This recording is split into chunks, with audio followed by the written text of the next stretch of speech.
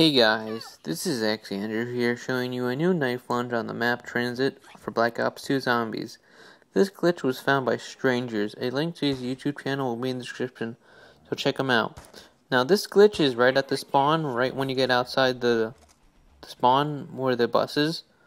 And for this glitch you'll need to know how to knife lunge. To knife lunge on Black Ops 2, you'll need to press Y and uh, the knife button, or shoot a knife, or any other way to cancel out your knife while moving and then you'll want to uh, go behind this pole and then you want to sprint jump and then knife and have the zombie near the the barricade where he gets out of.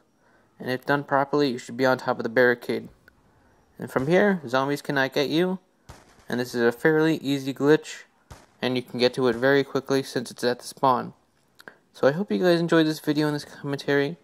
Be very much appreciated if this video got to 125 likes Alright, see ya and enjoy the video.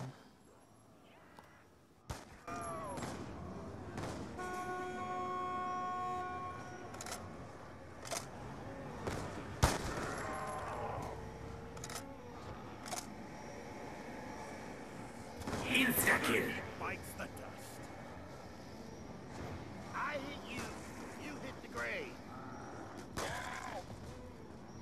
On the ground, corpse kisser.